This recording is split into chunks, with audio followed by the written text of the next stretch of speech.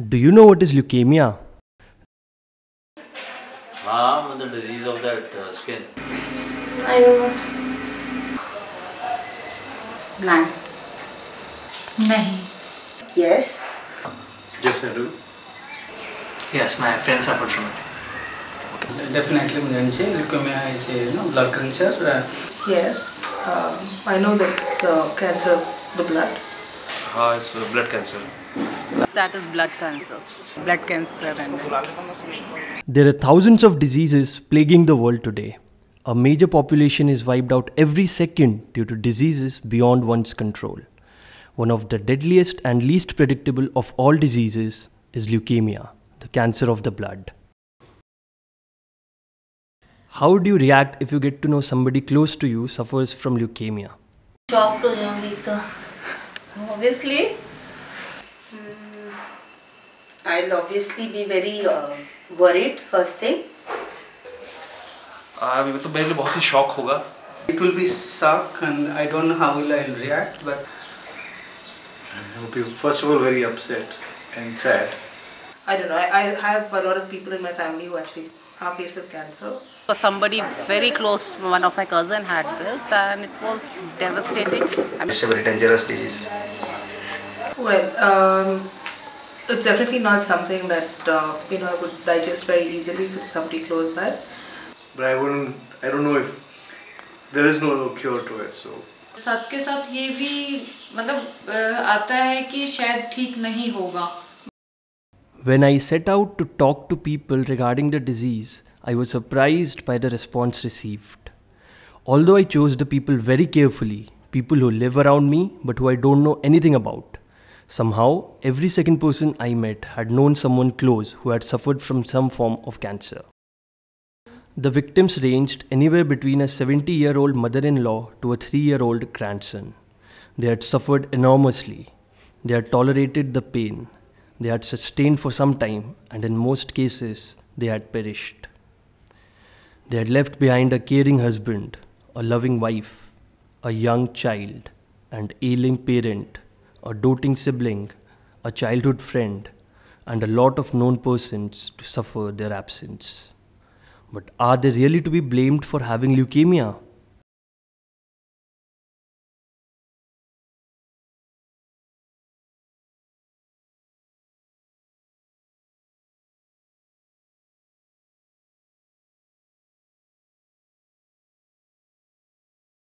What, according to you, is the best cure for leukemia? The first and foremost is hope and then the medical treatment as it should go on You should uh, uh, detect it early and then go to the doctor. है इलाज उसका होना चाहिए बस सही इलाज होगा ठीक होगा I think it's uh, not because of the body, it's, it's a disease of the mind. और उसके अंदर रोगी के अंदर भी ये चीज़ ताकत होनी चाहिए कि वो जल्दी से जल्द ठीक हो सकता है कोई भी बीमारी पे इंसान उस पर काबू पा सकता है ना कि बीमारी इंसान पे कम पाए। बेस चिंता कर चिंतार रोग कमी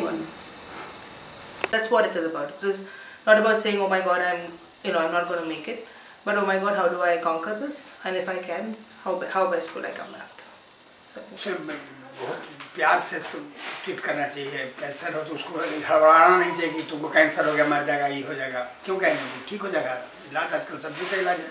So I feel that uh, if the problems in the mind can be solved, definitely the disease can also be cured.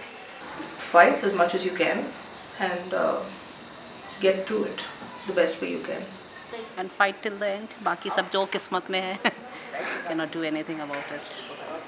Every person I talked to seemed to have a similar line of thought when I asked this question. Sympathizing with the victim and giving him or her the hope to live, that is the best that can be done, they said. Probably it was the loss that they faced which propelled them to add that there is no cure for leukemia and one can only delay the onset of death on the victim. It could be you sitting and watching the film, or one of your close ones in the family, or friends, or I who might discover leukemia in our body at the next doctor's visit and be left devastated. Is this how hopeless the disease is? Is this how helpless we humans are? Is there actually no cure for leukemia? My questions were answered, but by the most unexpected person. an 18 year old Delhi University English Honours first year student. I read her blog, The Unforgettable Desire, where she wrote extensively about her friends, her family, her near and dear ones, and most importantly, her tryst with leukemia. As I went on to learn her story, I knew it there and then that this is what my film is going to be about. I talked to her and her parents to help me with this film. Convincing them wasn't difficult. Getting the minute details of the entire encounter out of them was easy. What was hard for me was to stick to my objective of the film. The film had slowly molded itself away from leukemia because the girl showed me the bigger aspects of the disease. She taught me that, as perceived by many, leukemia is not just a disease.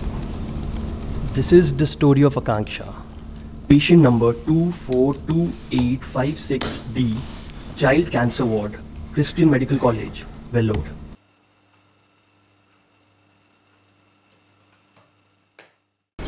साल 2007 दिसंबर चार तारीख एक नया जगह में जाके join किया था जब मैं ज्वाइन करने के तुरंत बाद मुझे पता चला कि मेरे बेटी को हाथ में कुछ दर्द हो रहा है तो उस समय मैं उसको उतना सीरियसली लिया नहीं था। मुझे लगा कुछ छोटा मोटा दर्द होगा ठीक हो जाएगा। डॉक्टर को दिखाया गया। डॉक्टर ने भी कुछ ऐसे ही भी इतना कोई सीरियसली लिया नहीं कुछ सोचा भी नहीं उसके बारे में। और उसको कुछ पिल्स दे दिए तो पिल्स खा ली और दर्द कम भी हो गया। आ, फिर कुछ दिन बाद फिर दर्द हुआ उसको। आ, फिर वैसे कुछ पिल खा ली और तब ठीक हो गया। लेकिन जैसे टाइम बीतता गया उसका दर्द जो है ज़्यादा फ्रिक्वेंटली होने लगा। उसके बाद फिर हम ऑर्थोपेडिशियन के पास ले गए। ऑर्थोपेडिक्स वाले वो सब फिर दूसरा मेडिसिन देने लगे। उसमें चार पाँच महीने चला गया। उसमें भी ठीक नहीं हुआ।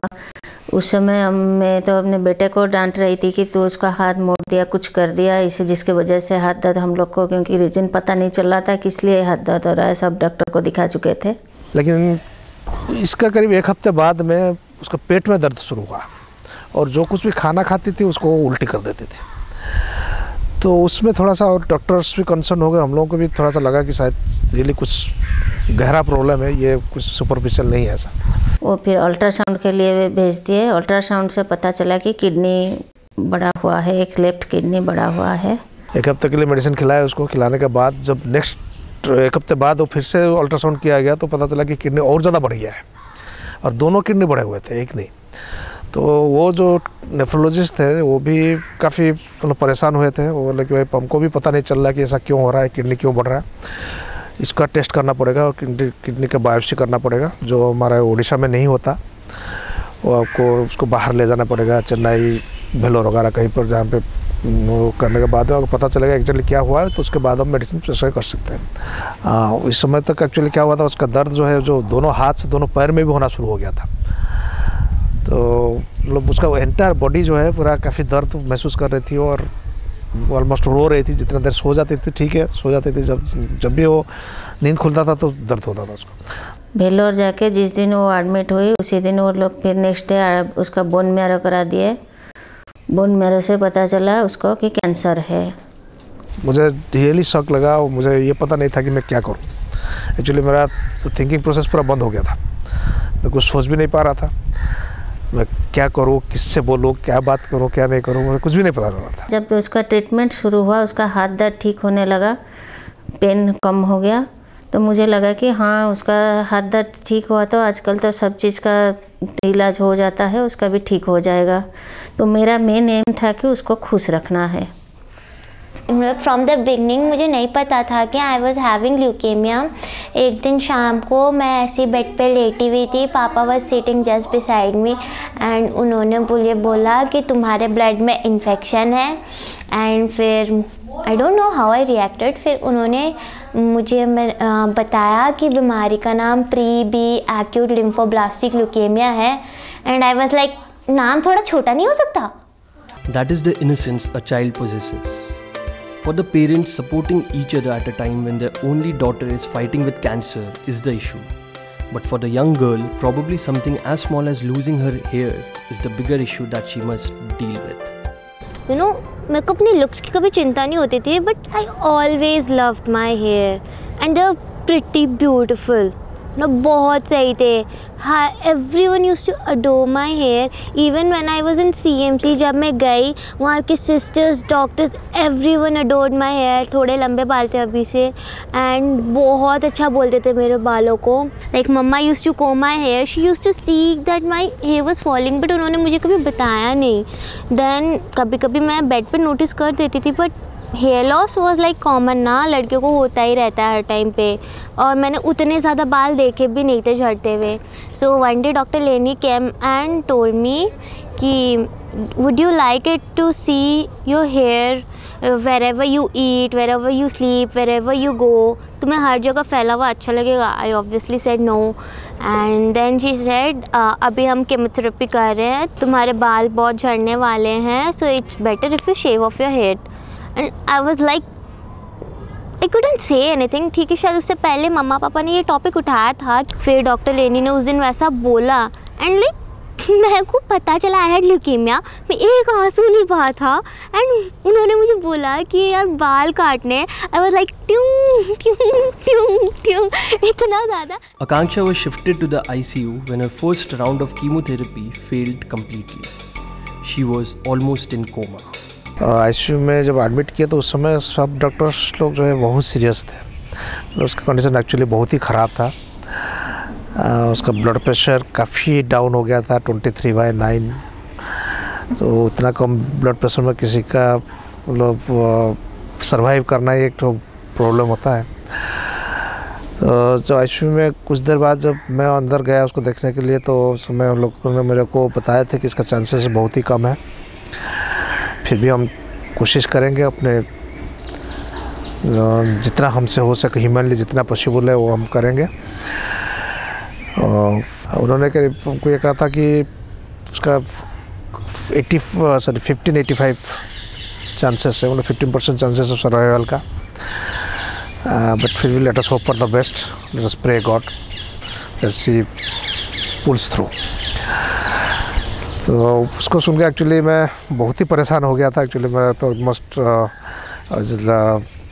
ऑलमोस्ट डेड पहली बार देखी कि अपनी बेटी को लगा है वेंटिलेटर तब तो डर लगा था। मैं पूछी थी, ये क्या है? कैसे, क्या है? तो कुछ डॉक्टर लोग कुछ ऐसा बोल नहीं रहे थे। वो बस बोल रहे थे कि हाँ हम अपना काम कर रहे हैं। आप भगवान के ऊपर भरोसा रखिए, ऐसे ही बोल रहे थे। तब तो डर लग रहा था कि कैसा होगा, क्या होगा। और तीन दिन के बाद जब वेंटिलेटर खुला उसका, तब मुझे बहुत डर लग रहा था क्योंकि उसका मुँह पूरा खुला ऐसा टेढ़ा हो गया था। तब मुझे बहुत डर लगा था कि मेरी बेटी का मुँह ऐसे टेढ़ा ही होकर रह जाएगा क्या? मुझे ऐसा लग रहा था कि कोई मशीन के अंदर में एक ठो पड़ा हुआ है। बहुत सारे मशीन चारों तरफ़ लगा हुआ था। वो हर चीज़ में कुछ ना कुछ रीडिंग दिखा रहा था और बहुत सारा सलाइन चार पाँच ठो लगा हुआ था एक साथ में। उसको कुछ मेडिसिन वगैरह दे रहे थे। तो उसको देख के और वो जो है मतलब काफ़ी जैसे अनकॉन्शियस स्टेट में थी। सेमी कॉन्शियस स्टेट में थी एक्चुअली मतलब टोटली कोमा में नहीं गई थी वो। तो डॉक्टर्स ने ये बताया कि सबसे बड़ा पॉजिटिव पॉइंट इस लड़की में ये है कि she is not unconscious she is still conscious इतने सारे ईयर के बाद में कॉन्शियस है, इसलिए हम लोग को लगता है कि वी आर होपफुल कि वो ठीक हो जाएगी। वो ज़्यादा प्रॉब्लम नहीं होगा। Learning that she would be having her first operation was a moment of joy for Akanksha. Over the months she spent at Vellore under the chemotherapy regime, she lost a lot of her freedom. Treatment के time में पे काफ़ी सारी restrictions थी mainly खाने पीने का and crowded places में जाने का मैं बाहर का कुछ भी खा पी नहीं सकती थी ठीक है पैक्ड चीज़ें it's fine but all those pizzas burgers वो सब अलाउड नहीं थे मोपोट लगाने के लिए बोले तो एक छोटा सा ऑपरेशन करके लगाना है। तो वो तो बहुत खुश थी। हम लोग को बहुत डर लग रहा था कि इतने छोटे बच्चे को ले जा रहे हैं ऑपरेशन के लिए। कैसे होगा, क्या होगा, कितना कैसे होता है वो। लेकिन वो बहुत खुश थी कि हाँ मेरा फ़र्स्ट ऑपरेशन हो रहा है। Again the smiling help a lot lot lot like obviously मेरे चारों तरफ़ वहाँ पे जो भी थे, सब हर टाइम मतलब ऑब्वियसली जब वो खुश होना चाहते थे, लेकिन इन अ वे दे वर एक्टिंग ना बिकॉज़ उनके दिल में कहीं ना कहीं था कि I am going through a serious problem तो मुझे वो पता चल जाता था. And to keep them normal I had to be normal अगर भी मेरे अंदर कुछ चल रहा हो आई डोंट रिमेंबर मेरे अंदर क्या चल रहा था, क्योंकि मैं हमेशा इतनी चीयरफुल एंड जॉली रहती थी कि मतलब smile actually helps you smiling and laughing मैं all time smile and laugh करती रहती थी। जब तुम दूसरे को हंसाते हो तो खुद को अच्छा लगता है। तो जो भी तुम्हारे अंदर कोई नेगेटिविटी या फिर कोई भी लाइक ईवल चीज़ वो भाग जाती है you know you just have to give a big smile E वाली smile I met my psychology teacher at school and talk to her about Akanksha's entire ordeal I wanted to know what is the usual psyche of people who suffer from such diseases and what is the best way of treatment for them Today is an actually an era of positive psychology, and I'm seeing a live examples coming out here. Uh, where people who had been suffering from a lot of severe illnesses has come out has proved it fatal uh, diseases can be conquered and can be actually overcome with a lot of positivity and a lot of uh, faith in their own self anyone who is suffering from any kind of an illness uh, it all depends on how that particular person is taking that disease uh, how it's being circulated and how it's being given to that person how he or she is ready to take that particular disease आ, मेरे को भी कभी depression आता था मैं पता कहाँ कि हम लोग ये हो गए पता नहीं इस लड़के का क्या होगा आगे चल के क्या नहीं होगा ऐसा सोचते थे और हम लोग कभी डिप्रेस हो जाता था, लेकिन वो इनक्रेज करते थे, कुछ नहीं होगा मेरा, मैं ठीक हो जाओगी पूरा तुम चिंता मत करो। हाँ एक बात तो ये भी बोल रही थी कि, देखो ये चीज़ जो हमारे फैमिली में आने का था, ये आया, और मेरे पर इसलिए आया क्योंकि मैं सबसे छोटी हूँ। भैया भैया के ऊपर होता तो फिर भैया का पढ़ाई बंद हो जाता, वो उसका एग्ज़ाम था क्लास टेन का, वो बंद हो जाता तो पापा तो यर्न कर रहे हैं हमारे लिए, अगर उनका होता तो फिर हम लोग को खाने को नहीं मिलता। और मम्मी तो सबके लिए खाना बनाती है, उसके होता तो फिर हम लोग हम लोग कैसे खाना खाते? तो I am the right person इसलिए ये हमारे घर में आना था तो मैं सही जगह में आया।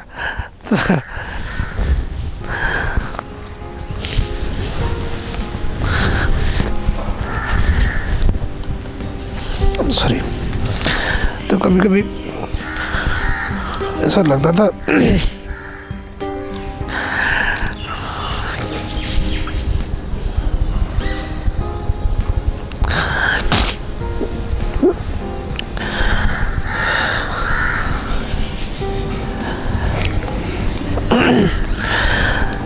कभी तो हमको कभी कभी लगता था कि ऐसे पता नहीं, भगवान मुझे ऐसे बेटी बेटी दी है दिया है, कि मैं अपने आप को फॉर्चुनेट समझता था कि ऐसी बेटी मेरे घर में पैदा हुई है।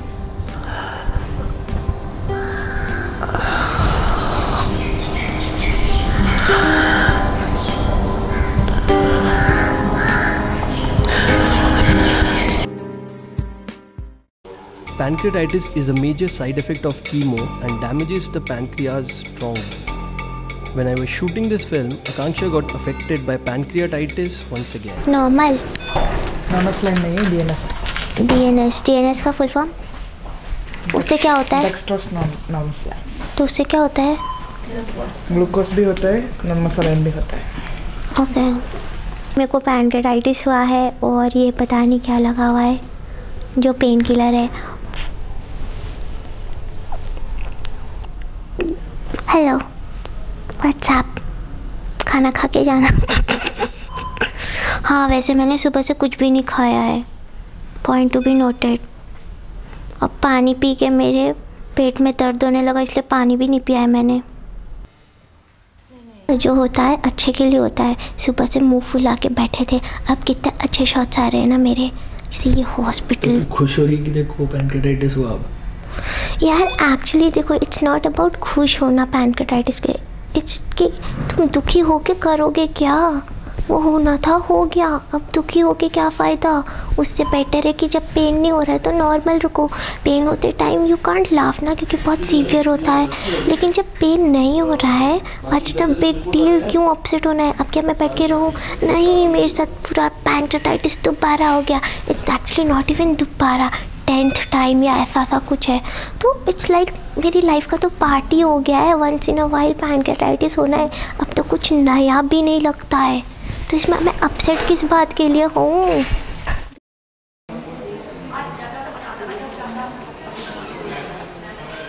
If you are in same से वेलो पीपल नो दैट तुम्हारे साथ कुछ बहुत सीरियस हो रहा है। तो मतलब वहाँ पे स्ट्रेंजर्स एक दूसरे को देख के they do prayers for you like तुम्हारे बारे में कोई बुरा नहीं सोचता है वहाँ पे। लाइक like, वहाँ जाके ना मेरे को बहुत पॉजिटिव सी फीलिंग आती है। अभी मुझे सिक्स मंथ्स वन ईयर में जाना होता है फॉर चेकअप और मैं वहाँ जाके बहुत खुश हो जाती हूँ पॉजिटिव वाइब्स आते हैं। इवन दो लाइक ऑब्वियसली कोई वहाँ जाना नहीं चाहता फॉर मेडिकल रीजन लाइक तुम्हें कुछ सीरियस हुआ कुछ बुरा हुआ तभी तुम वहाँ जा रहे हो। For me it's a place to be happy क्योंकि वहाँ पे कभी मेरे को कोई ईवल चीज़ नज़र नहीं आई। एक तो ये होता है life is a exam like obviously I didn't plan for leukaemia and all but अचानक से हो गया। You just have to pass तुम्हें पास करना ही है। If you if you lose you are dead तो obviously you just need to have that strength अगर तुम्हारे पास कोई भी बड़ी सी प्रॉब्लम आए जस्ट टेल कि yes okay problem I I will face it I will be brave I do it bring it on तो जब वैसे हम बोल दें ना लाइफ को तो पक्का ही है कि लाइफ हारेगी, हम जीतेंगे। तो दैट वाज अ पॉजिटिव चीज़। अभी कभी भी मेरे से कुछ नहीं होता है तो ठीक है। I mean it's not that big deal कि I start crying and all but okay a problem, i'll face it i won't just, i won't turn around, i won't show my back i'll face it ये पहले मुझे ऐसा लगता था कि ऐसे हर चीज़ जो है, कुछ फ्यूचर के लिए हम संभाल कर रखें फ्यूचर में करेंगे। लेकिन उसके साथ ये डिज़ीज़ होना और जिस हिसाब से उस डिज़ीज़ को फेस की, उससे मेरे को लगा कि सही में महसूस हुआ कि ज़िंदगी का कोई भरोसा नहीं है। आज है, कल होगा, नहीं होगा, कौन जानता है? इसलिए आज का दिन जो है उसको अच्छे से जीना चाहिए। ये चीज़ थियोरेटिकल तो मैं पहले भी जानता था, लेकिन पहली बार वहाँ पे महसूस किया उस हॉस्पिटल में रहते हुए। कि हमको प्रेजेंट में जीना चाहिए, आज का दिन को एंजॉय करना चाहिए, कल क्या होगा, किसी को नहीं पता। Probably that is how unpredictable life is we don't know what might occur the next moment but we are worried about what would happen ten years down the line probably that is the mistake we commit every day in the quest for a happy life we forget to enjoy the small reason of joy in every job done in every smile passed in old friends reunion union in family get togethers. We forget to live each moment of each day. Leukemia is not just a disease, it is a life experience. Getting to learn all this from a young girl, a tender 14 year old leukemia patient who became the sole reason of support for her entire family, is an inspiration in itself. One might understand the relevance of leukemia to optimism after seeing Akanksha's story, but might question the relevance of me using such a complex personal account to understand a simple life philosophy of optimism. I would answer that simply. I wouldn't have ever thought of this had Akanksha not been my little sister.